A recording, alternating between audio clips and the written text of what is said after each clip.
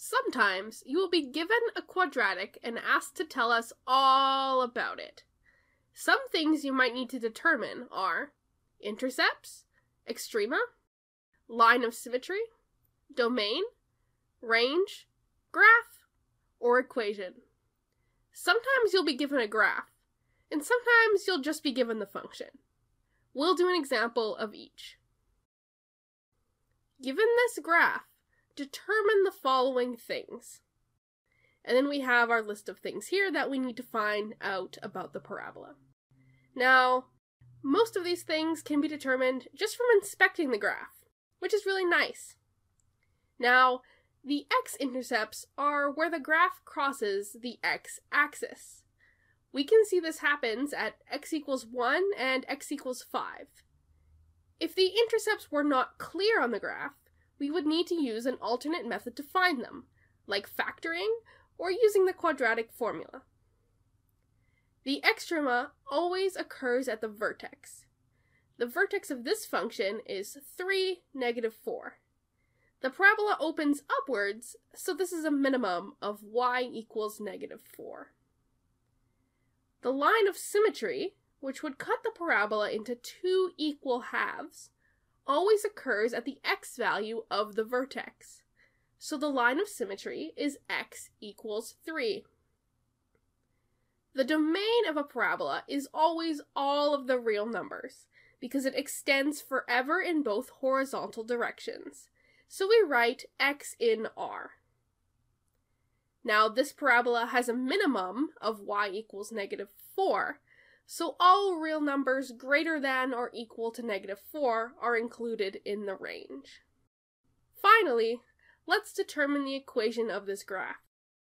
We notice that it has been translated 4 units down and 3 to the right, making our equation x minus 3 squared minus 4. If you want a more detailed explanation on how to figure out the equation from a graph, Review section 4.3. Alright, new example. Given the quadratic x squared minus 5x minus 24, determine the following. And then we have a very similar list to the one that we did in the last example. Now, you have a bit of a choice to make here. You could convert the equation to vertex form by completing the square and then graph it if you want to, but we can actually find all of the information we need just from the equation as well. The x-intercepts are the solutions to x squared minus 5x minus 24 equals 0. You could use factoring or the quadratic formula to find them. This equation will factor, so that's what I'm going to do. What are two numbers that multiply to negative 24 and add to negative 5? Well, it's negative 8 and 3. So our x-intercepts will be x equals 8 and x equals negative 3. To find the extrema, we need to recall that the x value of the vertex will be negative b divided by 2a. Negative negative 5 divided by 2 times 1 is just 5 divided by 2, which is a nice 2.5. We then need to plug that into our function to find the y value. 2.5 squared minus 5 times 2.5 minus 24 is equal to negative 30.25. We know this is a minimum because the a value of this quadratic is positive, so the quadratic opens upwards. So, we have a minimum of y equals negative 30.25.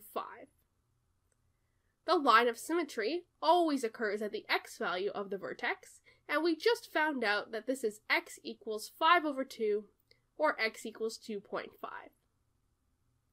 The domain of a quadratic is always all real numbers, and we know that we have a minimum y value of negative 30.25, so the range will be all real numbers greater than or equal to negative 30.25.